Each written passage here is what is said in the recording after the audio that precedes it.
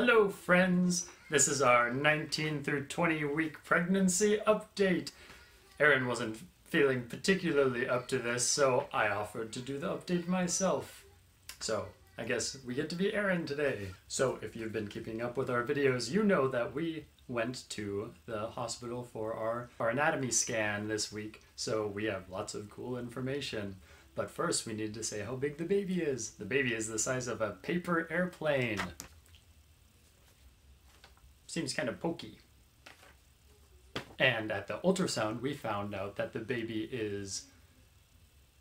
So, according to the number of weeks that we are, the baby is supposed to be about 10 ounces, but at the ultrasound, we found out that our baby is hovering closer to 15 ounces. So, we've got another big baby just like Lincoln. Also, at our ultrasound this week, we found out the sex of our baby.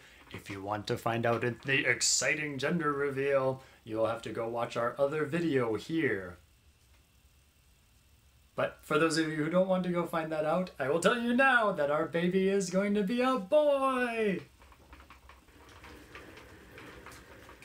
We are super excited about that, but we're gonna have another big boy. He's measuring nine days ahead of schedule, so we'll see how that turns out. The baby's moving a lot in the belly. I can feel lots of kickies and getting up in my ribs and pushing down on my bladder. And Matt and Lincoln have been able to feel the baby kick through the belly. Also, Lincoln was sitting on my lap and the baby kicked him in the back.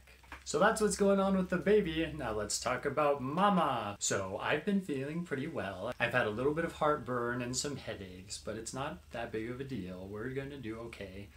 And I, I think that I had a Braxton Hicks contraction. But at night, I'm starting to have trouble rolling over from one side to the other. Sometimes Matt has to help me, but I figured out a new trick this week that makes it easier for me to roll over without really needing that much help, so that's good.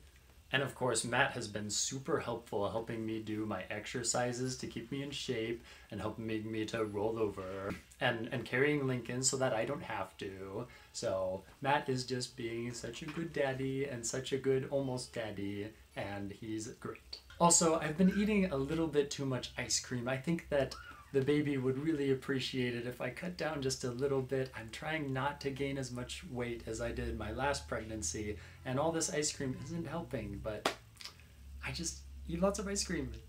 Well, enough about me. Let's take a look at the bump. I think the bump is really starting to show more this week than it did last week.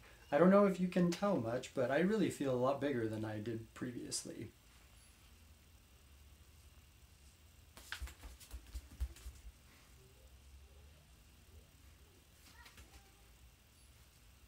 Well, that's all for today. Thanks for watching our pregnancy update, and we'll see you next time.